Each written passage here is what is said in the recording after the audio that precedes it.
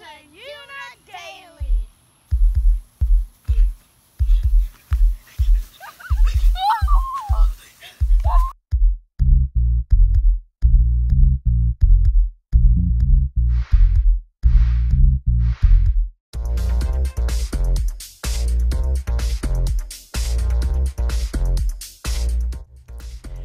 Hi 皆さんこんにちはユーランデリーです、えー今回はですね、えーと我が家の定番でありますチリの方のレシピを皆さんにご紹介していきたいと思います。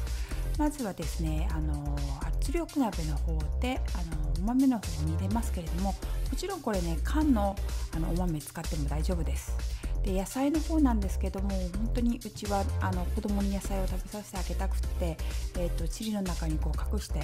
食べさせてますね。こんな感じであのフードプロセッサーでどんどんみじん切りにしまして、えー、とひき肉と一緒に炒めてえっ、と作ってますね。普通チリにはあんまりあの野菜入れないみたいんですよ。あの主人が言うにはですね。なんですけどうちはこうやって野菜をどんどん入れてます。えー、とこちらですねひき肉の方だいたい 400g ぐらいですかね。こちらはねビーフを使って合いびきでもいいとは思うんですけど、えっと、ビーフを使っています。冷凍してましたけれども普通の冷凍じゃないやつも使っても大丈夫です。はい、フランフライパンの方をこちら使ってあのソテーしてるんですけどこの時はですねやっぱりあのお豆の方を煮てるのにあのプレッシャークッカーの圧力鍋を使ってたのでこのフライパンにしてますけど圧力のな圧力鍋の中でこうやって全部まずソテーしても大丈夫だと思います。えーっと調味料の方ですね。まずはアメリあイングリッシュバージョンで、えーっといろんなグリリアンスの方を掲載してます。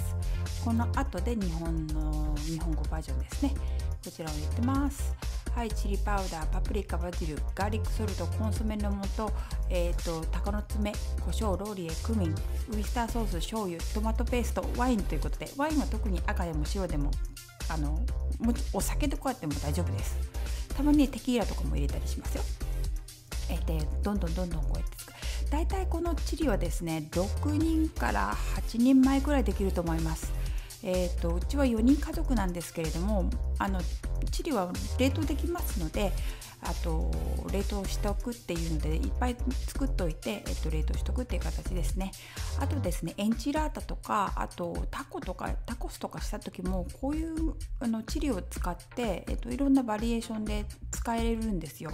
なので、えっと、思い作ってますね。えっと、昔はあのもうちょっと水を入れてたりもしたんですけどそうすると水っぽくなっちゃってねあの今は入れてないですね。ワインだけです。あとトマトペーストなんですけどこちら缶で売ってるものが多いんですよね安く売ってるのではそうするとあの使い切れないと難しく使うのであの両方ね缶切りで開けましてで押し出してこの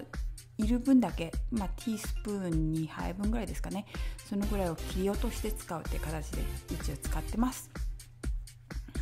えー、とあとはあの何ですか？サランラップとかでくるんでね保存しておきますね。冷蔵庫の中で保存してます。あとはプレッシャークッカーでもうほとんど火は通ってるので味をな、ま、なじませるって感じで5分ぐらいかなプレッシャークッカーしてます。はい。以上で我が家のチリレシピでした。Subscribe to the channel and hit that notification bell to get notifications on all of our videos.